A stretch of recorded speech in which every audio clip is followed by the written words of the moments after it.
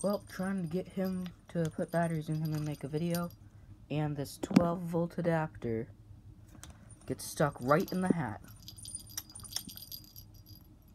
Pure luck.